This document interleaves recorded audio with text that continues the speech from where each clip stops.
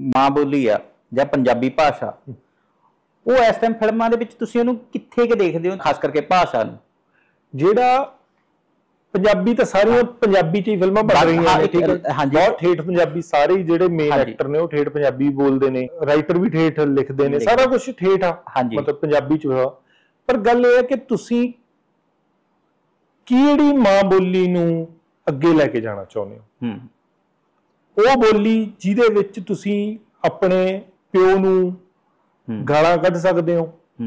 ਉਹਨੂੰ ਉਹਦੇ ਲਈ ਬਹੁਤ ਭੱਦੇ ਸ਼ਬਦ ਵਰਤ ਸਕਦੇ ਹੋ। ਉਹ ਆਪਣੀ ਔਲਾਦ ਲਈ ਭੱਦੇ ਸ਼ਬਦ ਵਰਤ ਸਕਦਾ ਤੁਸੀਂ ਆਪਣੇ ਗਵਾਂਢੀ ਨੂੰ ਆਪਣੀ ਉਹਨੂੰ ਭਾਈ ਭੈਣ ਨਾਲ ਬਦਤਮੀਜ਼ੀ ਨਾਲ ਗੱਲ ਕਰਦੇ ਹੋ। ਤੁਸੀਂ ਮਤਲਬ ਆਪਣੀ ਜ਼ਾਤ ਤੋਂ ਬਿਨਾ ਬਾਕੀ ਜਿੰਨੀਆਂ ਵੀ ਜਾਤਾਂ ਨੇ ਉਹਨਾਂ ਨੂੰ ਭੈੜੇ ਸਮਝਦੇ ਹੂੰ।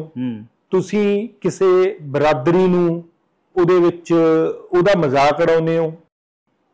ਇਹ ਸਾਰਾ ਉਹ ਮਾਂ ਬੋਲੀ ਚ ਹੀ ਕਰਦੇ ਹੋ। ਠੀਕ ਹੈ ਜੀ? ਮਾਂ ਬੋਲੀ ਆ ਜਿਹੜੀ ਮਾਂ ਬੋਲੀ ਮਤਲਬ ਮੇਰੇ ਲਈ ਜਿਹੜੀ ਮਾਂ ਬੋਲੀ ਆ ਜਿਹੜੀ ਜਿਹ ਚ ਨਫਾਸਤ ਹੈ ਕੋਈ। ਹੂੰ। ਤੇ ਮਾਂ ਬੋਲੀ ਜਿਹੜੀ ਹੁੰਦੀ ਹੈ ਉਹ ਤਾਂ ਨਫੀਸ ਲੋਕਾਂ ਦੀ ਹੁੰਦੀ ਹੈ ਕਾਮਿਆਂ ਦੀ ਹੁੰਦੀ ਹੈ ਤੇ ਉਹ ਉਹ ਦਾਨੇ ਬੰਦੇ ਦੀ ਹੁੰਦੀ ਹੈ ਮਤਲਬ ਹਾਂਜੀ। ਪਰ ਜਦੋਂ ਉਹੀ ਮਤਲਬ ਬੋਲੀ ਗੁੰਡਿਆਂ ਬਦਮਾਸ਼ਾਂ ਬਦਤਮੀਜ਼ ਬੰਦਿਆਂ ਦੀ ਕੋਈ ਮਾਂ ਬੋਲੀ ਉਸ ਮਾਂ ਬੋਲੀ ਉਹ ਮਾਂ ਬੋਲੀ ਤਾਂ ਮਰ ਜਵੇ। ਮਤਲਬ ਉਹ ਜੀ ਮਾਂ ਬੋਲੀ ਤਾਂ ਮਰੀ ਜਾਣੀ ਚਾਹੀਦੀ ਹੈ ਜਿਹੜੀ ਬੰਦੇ ਨੂੰ ਬੰਦੇ ਹੀ ਨਹੀਂ ਸਮਝਦੀ ਹੈਗੀ। ਹਾਂਜੀ। ਮਾਂ ਬੋਲੀ ਤਾਂ ਇੱਥੋਂ ਦਾ ਹਾਕਮ ਵੀ ਬੋਲਦਾ। ਹੈ। ਪਰ ਗੱਲ ਇਹ ਹੈ ਕਿ ਜਿਹੜੀ ਤੁਸੀਂ ਫਿਲਮ ਬਣਾ ਜਿਹੜੀ ਮਾਂ ਬੋਲੀ ਤੁਸੀਂ ਦੇ ਵਿੱਚ ਆਪਣਾ ਕੋਈ ਵੀ ਥਾਟ ਅੱਗੇ ਮਤਲਬ ਕੋਈ ਵੀ ਵਿਚਾਰ ਕੋਈ ਵੀ ਸਿਨੇਮਾ ਕੋਈ ਵੀ ਕਹਾਣੀ ਕਰਨਾ ਚਾਹੁੰਦੇ ਆ ਉਹ ਮਾਂ ਬੋਲੀ ਦੇ ਵਿੱਚ ਇਨਸਾਨ ਦਾ ਜਾਂ ਸਾਹਮਣੇ ਵਾਲੇ ਬੰਦੇ ਦੀ ਕੋਈ ਇੱਜ਼ਤ ਹੈਗੀ ਆ? ਉਸ ਬੋਲੀ ਨੇ ਕੁਝ ਨਫਾ ਜਿਹੜੀ ਫਿਲਮ ਤੁਸੀਂ ਬਣਾਈ ਜਾਂ ਕੋਈ ਨਾਵਲ ਲਿਖਿਆ ਕੁਝ ਵੀ ਲਿਖਿਆ ਉਹਦੇ ਵਿੱਚ ਬੋਲੀ ਦੀ ਕੋਈ ਮਤਲਬ ਉਹ ਪੜ੍ਹ ਕੇ ਬੰਦਾ ਆਸ਼ਕ ਹੋ ਗਿਆ ਉਸ ਬੋਲੀ ਦਾ। ਕੀ ਕੁਝ ਇਸ ਤਰ੍ਹਾਂ ਦਾ ਹੈਗਾ? ਜਾਂ ਫਿਰ ਉਹਦੇ ਵਿੱਚ ਸਿਰਫ ਬਦਤਮੀਜ਼ੀ ਹੈ ਗਾਲਾਂ ਨੇ ਹੋਰ ਕੁਝ ਕੱਖ ਵੀ ਨਹੀਂ ਹੈਗਾ ਜਾਂ ਬੇਹੂਦਾ ਹਾਸਾ ਮਜ਼ਾਕ ਕਰਦੇ ਹੋ ਜਾਂ ਉਸ। ਤਰ੍ਹਾਂ ਦਾ। ਮਤਲਬ ਮਾਂ ਬੋਲੀ ਕਿਵੇਂ ਉੱਪਰ ਜਾਊਗੀ ਮਤਲਬ ਕਿ ਮੈਂ ਜਿਵੇਂ ਹਾਂਜੀ ਮਤਲਬ ਬੰਦਾ ਜੰਮਦਾ ਹੈ ਉਸੇ ਬੋਲੀ ਮਤਲਬ ਮੰਨ ਲਓ ਅਸੀਂ ਪੰਜਾਬ ਜੰਮੇ ਅਸੀਂ ਪੰਜਾਬੀ। ਮਾਂ ਬੋਲੀ ਬੋਲਣ। ਲੱਗ ਗਏ ਉਹ ਇੱਕ ਜਜ਼ਬਾਤੀ ਰਿਸ਼ਤਾ ਹੋ ਸਕਦਾ ਹੈ ਦੂਜਾ ਸਾਨੂੰ ਕੋਈ ਇਹ ਕਹਿ ਸਕਦਾ ਕਿ ਵੀ ਯਾਰ ਉਹ ਫਲਾਣੀ ਬੋਲੀ ਤੁਹਾਡੀ ਬੋਲੀ ਖਾ ਜਾਊਗੀ ਤਾਂ ਮੈਂ ਕਹਿ ਸਕਦਾ ਵੀ ਨਹੀਂ ਯਾਰ ਮੈਂ ਮੈਂ ਮੈਂ ਇਹ ਬੋਲੀ ਦੇ ਵਿੱਚ ਕਰੂੰਗਾ ਆਪਣਾ ਕੰਮ ਜਾਂ ਮੈਂ ਬੋਲੂੰਗਾ ਜਾਂ ਮੈਂ ਵਡਿਆਉਂਗਾ ਹਾਂਜੀ। ਉਹ ਵੀ ਇੱਕ ਹੋ ਸਕਦਾ।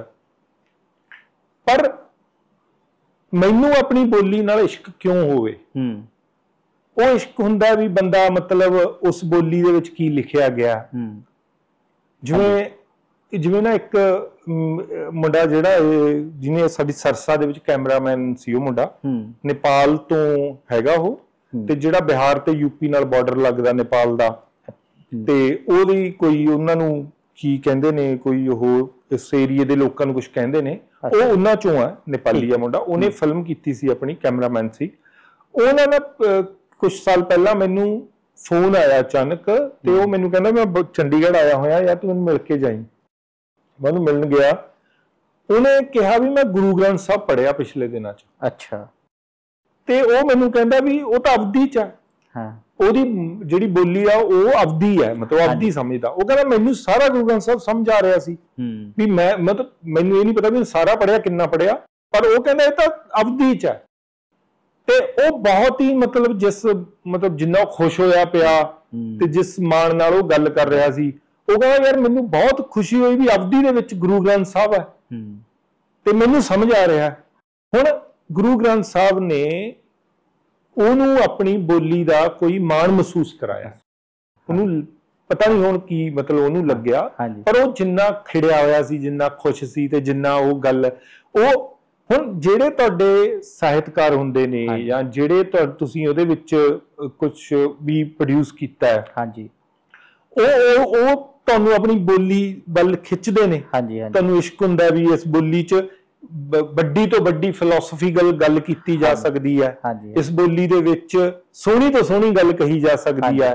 ਬਹੁਤ ਨਫਾਸਤ ਨਾਲ ਕਹੀ ਜਾ ਸਕਦੀ। ਹੈ ਕਿਸੇ ਵੀ ਤਰੀਕੇ ਨਾਲ ਇਹ ਕਿਸੇ ਵੀ ਹੋਰ ਜਿਹਨੂੰ ਅੰਗਰੇਜ਼ੀ ਤੋਂ ਜਾਂ ਹੋਰ ਕਿਸੇ ਉਰਦੂ ਤੋਂ ਕਿਸੇ ਵੀ ਉਹ 'ਚ ਪਿੱਛੇ ਨਹੀਂ ਹੈਗੀ ਤੇ ਕੀ ਅਸੀਂ ਆਪਣੇ ਸਿਨੇਮੇ ਦੇ ਵਿੱਚ ਆਪਣੀ ਬੋਲੀ ਦੀ ਉਹ ਨਫਾਸਤ ਆਪਣੇ ਲੋਕਾਂ ਦੀ ਦਾ ਦੁੱਖ ਦਰਦ ਪੇਸ਼ ਕਰਦੇ ਹੋਏ ਉਹਦੇ ਸੋਝ ਨੂੰ ਉਸ ਮਾਧਿਅਮ ਦੇ ਸੋਝ ਨੂੰ ਵੀ ਮਤਲਬ ਕਾਇਮ ਰੱਖਿਆ ਹੈ। ਉਸ ਬੋਲੀ ਦੀ ਇੱਕ ਮਤਲਬ ਜਿਵੇਂ ਕਹਿੰਦੇ ਆ ਵੀ ਬੋਲੀ ਦੀ ਨਫਾਸਤ ਨੂੰ ਕਾਇਮ ਰੱਖਿਆ ਕਿ। ਕੀ ਸਾਡੇ ਸਿਨੇਮੇ 'ਚ ਇਹ ਹੋ ਰਿਹਾ ਜੇ ਨਹੀਂ ਹੋ ਰਿਹਾ। ਤਾਂ ਤੁਹਾਡੀ ਫਿਲਮਾਂ ਨੇ ਤੁਹਾਡੀ ਮਾਂ ਬੋਲੀ ਨੂੰ ਕਿਤੇ ਨਹੀਂ ਲੈ ਕੇ ਜਾਣਾ।